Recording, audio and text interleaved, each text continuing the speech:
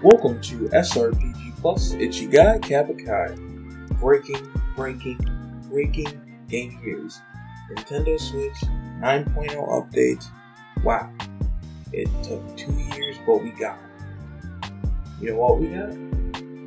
The Switch Lite feature on the controllers has finally been patched in, even though it was data mined and shown by hackers over two years ago.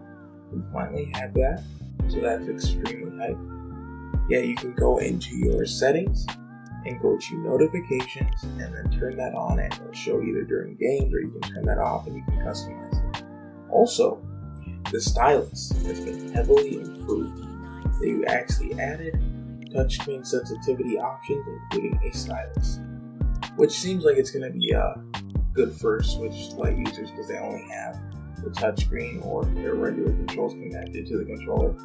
They also had specific Switch Lite stuff, which I obviously can't check out until that comes out, which I, am still thinking about getting one. And wow, we, we really got it.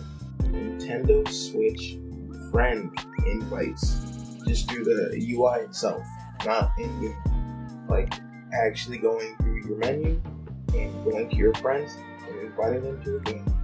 I don't know why it took so long, but we, we finally got it. They also added a with QR codes, which seems like it's going to have uh, use with events with Nintendo, like my Nintendo Rewards program stuff, like a meeting at specific uh, events, like at Best Buy or specific stores to claim rewards for games. And last, there were more features added to the news section. They let you search by name. Uh, it doesn't really seem like it's working now, but it probably will later and you can also search by followed accounts. It kind of cleaned up the interface for that, and I thought that was cool because I actually do use the news section. Well, this was you Gabakai. Just wanted to drop this real quick video.